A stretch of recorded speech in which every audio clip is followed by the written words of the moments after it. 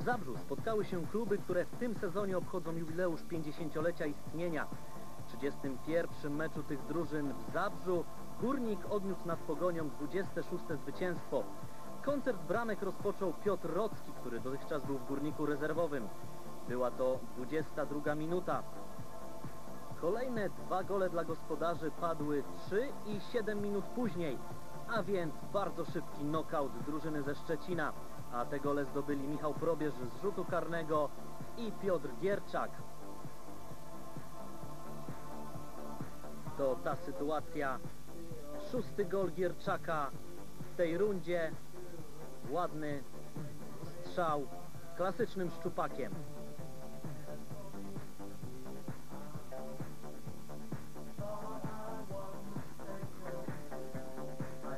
Kropkę na D w tym meczu postawił Piotr Rocki, który zdobył swoją drugą bramkę w tym spotkaniu i stał się niewątpliwie bohaterem meczu. Było to siódme zwycięstwo górników w tej rundzie, a Pogoń poniosła piątą porażkę z rzędu.